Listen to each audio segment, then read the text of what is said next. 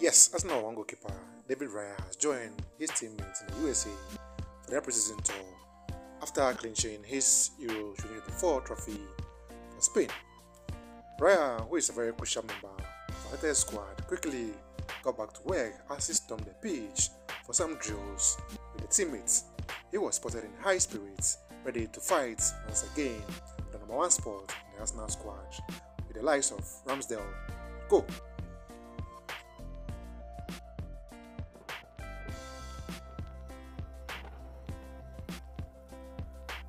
He spent some time in the gym and on the pitch as they prepare for the upcoming preseason friendly in the USA.